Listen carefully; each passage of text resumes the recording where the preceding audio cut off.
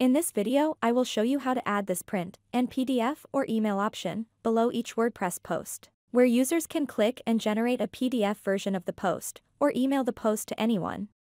Before that please subscribe to my channel and click the bell icon if you haven't done it already. So let's get started, first the print and PDF plugin should be installed. In WordPress site dashboard, in the left-hand menu, click on plugins, and then click add new. Next, type in print and PDF, and search for the plugin, Print Friendly and PDF, in the plugin page. Here it is, click the Install Now button to install the plugin. Once the plugin is installed, click the Activate button to activate it. After you have activated the plugin, you can customize the placement and appearance of the print and PDF button using the plugin's settings.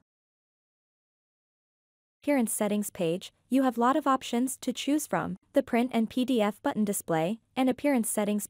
You can select the one that you find appropriate to your site. Here, we can align the PDF button on the left side, the right side, or the center whichever is suitable on the post page.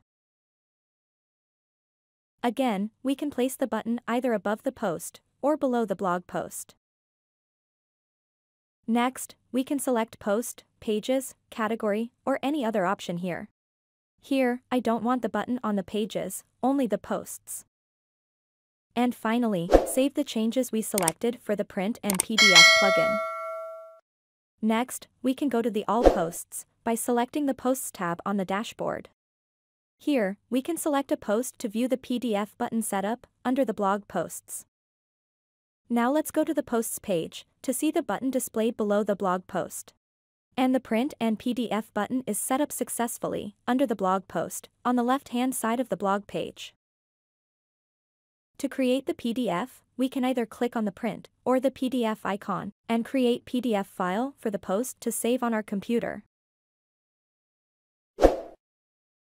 Next, we can click the email option to send the blog post as a PDF to email of our choice by filling these to and from email and message fields. With this we have come to the end of this video, please like, comment, and share the video if it was helpful, and click bell icon to get updates when we add new content.